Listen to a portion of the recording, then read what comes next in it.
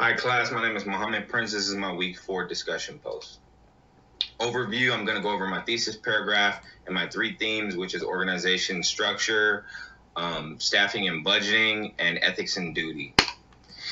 So, this is my thesis paragraph. Um, it uh, goes over the three themes that I'm going to be discussing. So, organizational structure. The organizational structure of the public defender's office is the uh, head public defender who is appointed by the board of supervisors. They carry out the office responsibilities with other um, a team of public defenders and um, with the assistance of their deputy counsels and other administrative and support staff. So, when looking at the organizational structure, um, one theory that comes to mind is Weber's bureaucratic theory of management, which is the basis for a systematic foundation of any organization, and it's designed to ensure efficiency and economic effectiveness. Um, another theory that comes to mind is uh, Frederick Taylor's, um, which he felt that by optimizing and simplifying jobs, this would increase productivity. So that's really what scientific management is. Um, Gulick found that under coordination as well as organization, um, so he, he felt that there has to be coordinate, coordination within the organization. And he emphasized unity of command and that each worker should only have one direct supervisor to avoid um, confusion and inefficiency. And um, Follett proposed that one person should not give orders.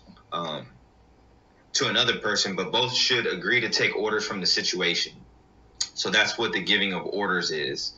And then um, Paul Appleby, he found that government is different and that it exists precisely for the reason that there is a need to have special people in society that are charged with the function of promoting and protecting the public business interest. And that government is actually guided by that public business interest. So staffing and budgeting. Um, so the biggest issue in public defense is their budgeting, and that and that their budgeting comes from the federal and the state government, and because of their limited budgeting, they don't have the headcount of a private um, defense firm.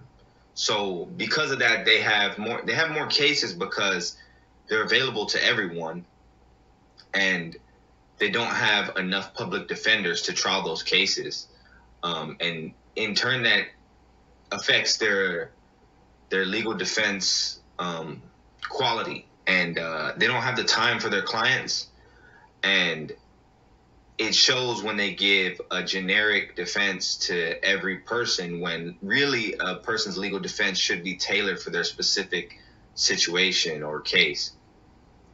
So that's the biggest issue that public defense has been facing for decades. Um, and whether or not the the Sixth Amendment right to an attorney is actually being abided by, because if they're not given an adequate attorney and an adequate legal defense, it's just they're just given one for compliance sake. Um, so, Willoughby argued that if the federal government was going to regulate business procedures, then it had better start with its own house and get its own house in order first. And um, Schick found that the budget in the battleground, the budget is the battleground um, for Amer- American politics, and that everybody fights this fight, and agencies strive for more money each year. Um, and uh, this this comes from the president and um, Congress, and within Congress, it um, it's the House versus the Senate in terms of budgeting and um, and Grodzin Grodzins argued that the government um, resembled a marble cake, where the different flavors blend blended together rather than remaining in layers. The, Um, and um, he uh, also discussed fiscal federalism and um, and how to divide responsibilities, including finances, among the federal and state as well as local governments to improve to improve economic efficiency. So ethics and duty. Um, this is where uh, it comes into play whether or not these people are actually getting a, a legal representation that you know is adequate, um, which is what is guaranteed in the Sixth Amendment of the Constitution. So um, these are people who um, are facing, you know, f- felonies and misdemeanors, and could be facing a lot of you know time in in jail, and um, they're being given a rinse and repeat legal representation, and it's just not tailored for their specific needs. Um, a lot of times they can't even get a return phone call. So there's a lot of eth- ethical implications that's involved with that.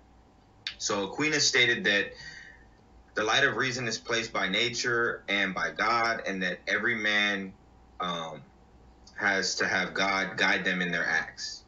Um, and uh, divine command theory, um, it uh, it says that morality is ultimately based on the commands or character of God, and that the morally right action is the one that God commands or requires.